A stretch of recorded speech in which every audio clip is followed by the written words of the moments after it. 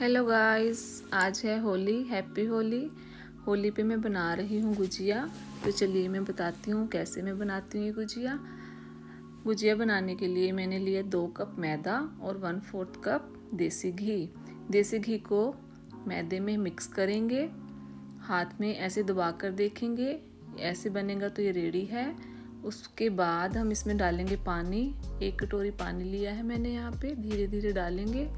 और जो रोटी का आटा बनता है, डो लगता है, उससे ये सख्त बनेगा। इसमें लगी थी आधी कटोरी पानी बन के रेडी है, रेस्ट के लिए रख देंगे 20 मिनट के लिए। उसके बाद हम चाशनी बनाएँगे।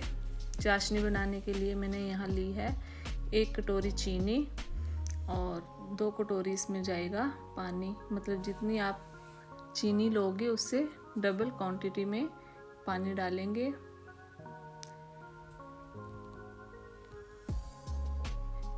इसके बाद इसमें टेस्ट के लिए मैंने डाले हैं तीन से चार हरी इलायची।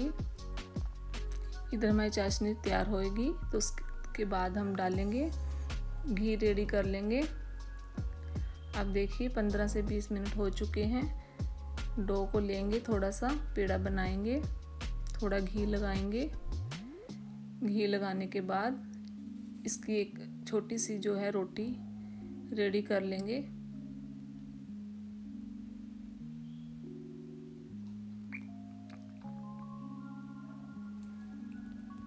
अब यहाँ पर मैंने पहले से ही एक मिक्स रेडी कर लिया था। सूजी को मैंने देसी घी में भून लिया था और उसमें सारे ड्राई फ्रूट्स को भून कर ग्राइंड करके इसमें डाल दिया था और थोड़ी इसमें बूरा या खांड डल, डलती है मीठे के लिए। उसके बाद वन स्पून इस मटेरियल का लेंगे हम और इसके हाफ़ रोटी के हाफ़ कॉर्नर पर इसको रखेंगे। जो भी आप एक्स्ट्रा ड्राई फ्रूट डालना चाहते हो डाल देना। उसके बाद पानी लगाएँगे। वैसे पानी किनारों पर पहले ही लगा लेना चाहिए। मैं यहाँ पर पानी लगाना भूल गई थी तो आप पहले लगा लीजिएगा। उसके बाद इसको फोल्ड करेंगे। इसके दो तरीके हैं बनाने के। फ़र्स्ट स्टेप जो है, ये वाला है, और सेकंड भी मैं आके दिखाऊँगी आपको।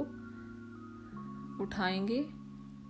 यहाँ से एक एक मतलब थोड़ा थोड़ा आटा लेके कॉर्नर से उठाते जाएँगे, इसको ऐसे फोल्ड करते जाएँगे।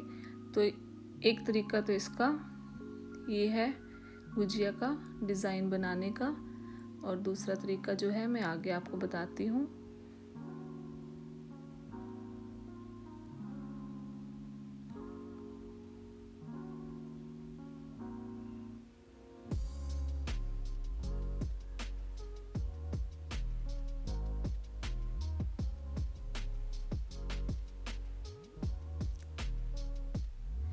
सेकंड जो है प्रोसेस हम ऐसे करेंगे, एक फोक लेंगे। फोक से हम साइडों के किनारों को दबाते हुए इसको बनाएँगे और पानी इसमें ज़रूर लगा लेना है किनारों पे, वरना ये मतलब जब इसको फ्राई करते हैं ना, ये ओपन हो जाती है, खुल, फट जाती है। इसलिए पानी ज़रूर लगाना है। सेकंड हमारा तरीका ये हो गया, देखिए। दो डिज़ाइन बन गए। अब मैंने यहाँ पे सारी गुजिया को भर के रेडी कर लिया है। अब इधर ऑयल जो है, वो पूरा गरम कर लेना है और फिर मीडियम फ्लेम पर उसको रखना है। उसके बाद एक एक गुजिया इसमें डालेंगे और धीरे धीरे से इसको पकाएँगे।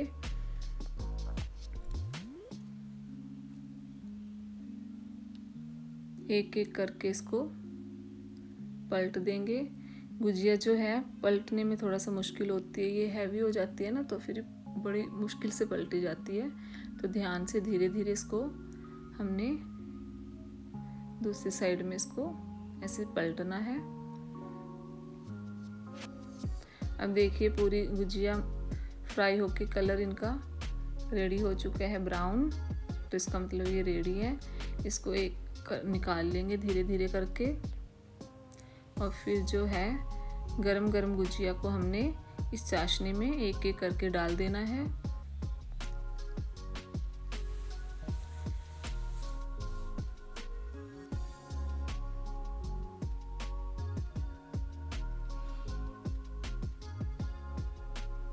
गुजिया को चाशनी में जब हम डालेंगे, उसके दो मिनट तो एक साइड रखना है, फिर इनको पलट देना है। उसके बाद फिर दो मिनट के लिए दूसरी साइड रखना है। मतलब चार से पाँच मिनट इसमें चाशनी में रखेंगे इनको गुजिया को। उसके बाद इनको एक एक करके हम किसी बर्तन में निकाल लेंगे।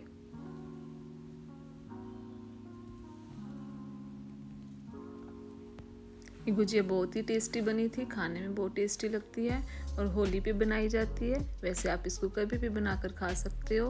अब देखिए इसको हम प्लेट में सजाएँगे ऊपर से कोई भी ड्राई फ्रूट स्प्रिंकल कर देंगे।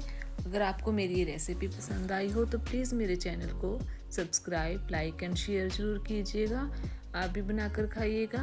बहुत अच्छी बनती है। Okay bye bye